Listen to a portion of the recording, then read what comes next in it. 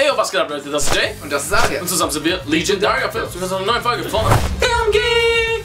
I said the film, fuck, der Film, der Film, der Film, fuck, der fuck, fuck, der Film, der Film, der fuck, der fuck. Und ihr kennt alle Filmfakten, yeah.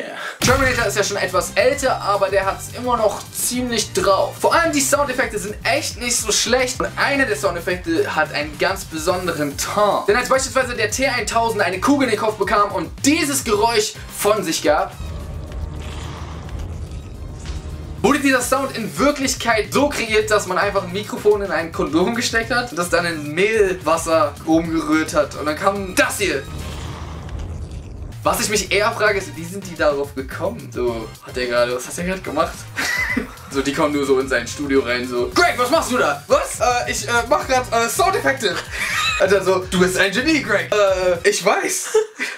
Unser nächster Fakt ist nicht aus einem Film, sondern aus dem Märchen Dornröschen. Ihr wusstet ja vielleicht, dass die Märchen der Gebrüder Grimm keine wirklich selbst ausgedachten Märchen sind, sondern einfach nur Mund-zu-Mund-Erzählungen, die teilweise Jahrhunderte alt sind und von ihnen aufgesammelt und aufgeschrieben wurden. Ja, was einige von euch vielleicht nicht wussten und was ziemlich krass ist, ist, dass diese Geschichten gar nicht so harmlos sind, wie man denkt, sondern teilweise ziemlich grob und blutig waren. Ja, diese Geschichten wurden von den Gebrüder Grimm einfach entschärft und mit der Zeit immer sanfter und harmloser dargestellt. Also wurde Dornröschen auch nicht wirklich durch einen Kuss ihres Prinzen geweckt, nicht ganz, sondern viel eher von einem Mann, der ins Schloss eingedrungen ist, vergewaltigt, hat zwei Kinder bekommen, die sind dann sogar rausgeschlüpft und später, als die Kinder dann die Hand ihrer Mutter berührt haben, um den Flachsfaden zu entfernen, erst dann ist sie aufgewacht. Aber ey, war fast wie ein Kuss. So, jetzt stellt sich mir die Frage, wie zur fucking Hölle kommt irgendwer darauf, aus so einer Geschichte ein Kindermärchen zu machen? Oh, eine Frau, die in den ewigen Schlaf gefallen ist und vergewaltigt wurde, zwei Kinder im Schlaf bekommen hat, hm, hört sich fast nach einer Kindergeschichte an. Ein bisschen Änderung hier, ein bisschen Änderung da. Wow, hey, wir haben Dornröschen. Für 9,99 in ihrem Markt erhältlich. Und der nächste Fakt ist aus dem Film The Hobbit.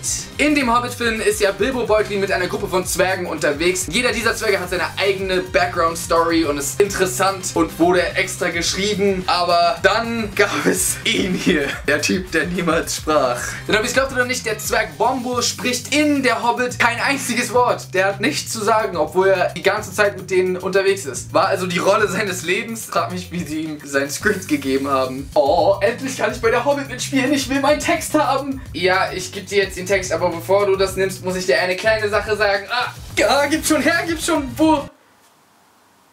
Ich sag gar nichts. Ich sag, ich sag gar nichts. Stimmt schon, du sagst nichts. Nee, du sagst nichts. Weiter geht es mit The Avengers. In dieser Szene nach den Credits gönnen sich die Avengers ein bisschen Shawarma. You ever tried shawarma? Ja, ihr habt richtig gehört, die gönnen sich gerade wirklich Shawarma. Ja, der Schauspieler Chris Evans, ganz links Captain America, trägt gerade in Wirklichkeit eine Gesichtsprothese, um seinen Vollbart zu verdecken, den er sich für den nächsten Film heranwachsen lassen hat. Deswegen verdeckt er auch sein Gesicht so unauffällig die ganze Zeit mit seiner Hand. Äh, ich esse gerade Shawarma und äh, hab meine Hand hier so ganz komisch. Aber ich habe keinen Vollbart. Der Schauspieler Mark Wahlberg holte erst neulich, und zwar im Alter von 42 Jahren, seinen Highschool-Abschluss nach. Denn als Jugendlicher geriet Mark Wahlberg auf die falsche Bahn und wurde sogar des versuchten Mordes angeklagt und verurteilt. Doch sein Leben hat sich komplett gewandelt und inzwischen ist er sehr erfolgreicher Schauspieler, sogar Oscar nominiert und sogar Filmproduzent. Aber um seinen vier Kindern ein gutes Vorbild zu sein, holte er noch seinen Highschool-Abschluss nach. Denn wir wissen ja alle, Schule ist das A und O. Und vielleicht auch manchmal das Trypsilon. Ich gehe.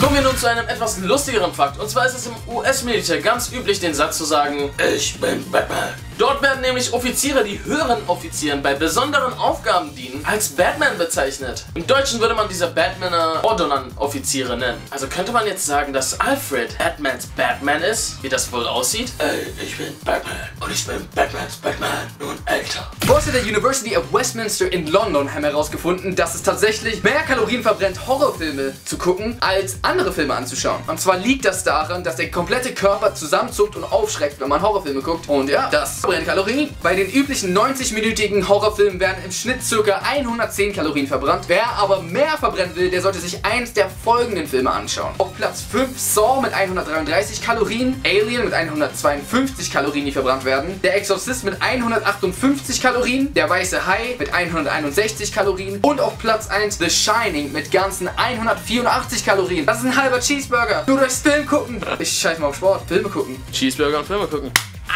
Und unser letzter Filmfakt ist aus dem Film The Expendables. Kennt ihr noch Sylvester Stallone? Ja, der Sylvester Stallone, der alle immer weggeboxt hat. Ja, der hat sich nämlich in einer Kampfszene mit dem Wrestler Steve Stone Cold Austin verletzt. Die Diagnose lautete Genickbruch. Genau gesagt war das ein Haares im Halswirbel, weswegen Stallone viermal operiert werden musste und jetzt eine Metallplatte sogar im Nacken trägt. Ich will nicht der Grund dafür sein, dass Sylvester Stallone ein Stück Metall in seinem Nacken trägt, okay? Der Typ, der rohe Eier trinkt, als wäre das Kool-Aid. Der Typ, der ein zartes Fleisch boxt, das ich gerne esse. Der Typ, der so viele Treppen hoch und runter läuft, wie der Typ aus dem Film, in dem Sylvester Stallone mitspielt. Auf jeden Fall, was ich sagen wollte, ist Stone Cold, du hast verkackt. Das war's mit der heutigen Folge Filmgeek.